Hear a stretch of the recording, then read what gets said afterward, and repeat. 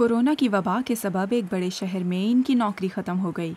इसके बाद भी कानाराम चार माह तक मुलाजमत की तलाश करते रहे, जिसके बाद वो राजस्थान के देही इलाके में अपने घर वापस लौट आए। उदयपुर में एक मुकामी तंजीम कम दौरानिए के कोर्सेज करा रही थी। ये सुनते ही उन्होंने भी दर्जी का कोर्स करने का फ़ैसला किया। मैडम, मैं लॉकडाउन से पहले सूरत में काम करता था, ग्रेनाइट का फैक्ट्री पे 2012 से मैडम। तो एकदम लॉकडाउन हुआ तो सब सील हो गए थी बॉर्डर सील हो गई थी। और बोला कि जहाँ है, वहीं रुको, ऐसे मोदी जी ने बोला था। किसी के इधर उधर जाने को बाहर नहीं निकलने देते थे रोड पे तो कोई देखने भी नहीं आता था। वो जहाँ है, वहाँ रुको। बाहर बाहर निकलते तो पुलिस वाले डंडे मारते थे। गारासिया को पता चला कि पत्थर काटने के सबब वो बीमार हो गए हैं। उन्हें फेफड़ों की बीमारी हो गई है, जिसे सिलिकोसिस कहा जाता है। ये एक और वजह थी कि उन्होंने दर्जी बनने का फैसला किया।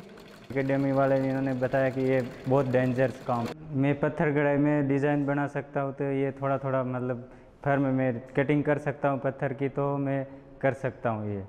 आजियोका की स्टिप अकेडमी में वो एक महीने का कोर्स एक हज़ार भारतीय रुपयों में कर रही हैं, जो 11 यूरो के करीब बनते हैं। रिहाइश और ख़ुराक भी इसमें शामिल है। ये अकेडमी हजाम का कोर्स भी कराती है और बिजली का इब्तदाई काम भी सिखाती है, जिनमें घर की बिजली, मोबाइल और गाड़ियों की वायरिंग की रिपेयरिंग वगैरह शामिल है। तरबियत हासिल करने के बाद ये लोग वापस अपने गाँव लौट जाते हैं। स्कूल के डायरेक्टर संजय चितोरा कहते हैं कि महाजिर वर्कर्स की वापसी देही मीशत के लिए खुशकुन खबर है। नंबर है, हम लोगों ने कुछ हज़ार से ज़्यादा यूथ को आफ्टर कोविड ट्रेन कर दिया क्योंकि काफ़ी बड़ी संख्या में लोगों को यहाँ लोकली काम भी मिल रहा है और जो शॉप्स ओपन हो रहे हैं, उससे उनको उनको ग्राहक भी मिल रहे हैं। तो ये क्योंकि अभी जो एम्प्लॉयर्स या जो बिजनेसमैन है, वो भी लौट आए मतलब वो भी गाँव में थे।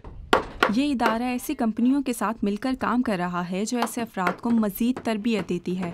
मिसाल के तौर पर, इस तामीराती जगह पर उन्हें मशवरा भी दिया जाता है और ये अपनी ट्रेनिंग एक साल के अरसे में मुकम्मल करते हैं।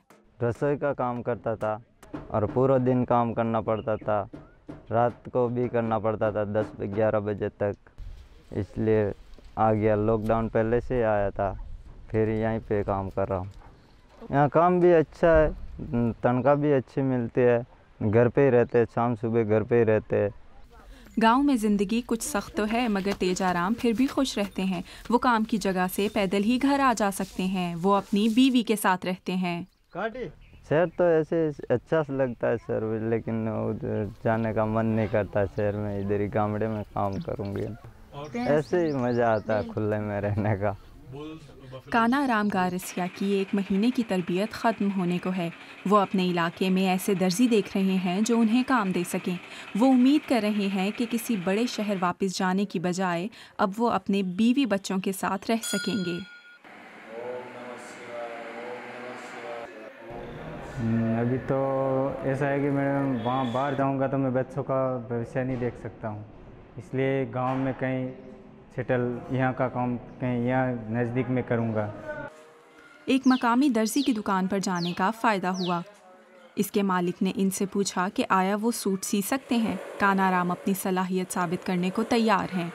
दुकान के मालिक ने उन्हें बताया कि वो अपनी तरबियत मुकम्मल करके आए तो वो उन्हें काम देगा। कानाराम उम्मीद की ये खबर अपनी बीवी और छः बच्चों को सुनाने को बेताब हैं। लॉकडाउन के आगाज़ के एक साल बाद ज़्यादातर महाजिर वर्कर्स का भारतीय हुकूमत पर कोई भरोसा नहीं रहा। उन्हें खोई हुई मुलाजमतों के हवाले से किसी किस्म की कोई मदद नहीं मिली। लेकिन कोरोना की वबा दही मीशत में बेहतरी की उम्मीद लेकर ज़रूर आई है। ठीक है।